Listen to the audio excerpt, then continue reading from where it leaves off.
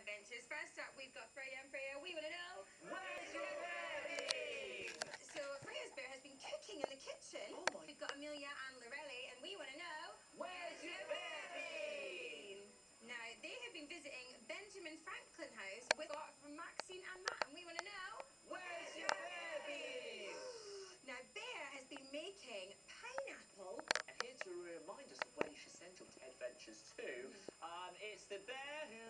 Paws. to think about how big his paws are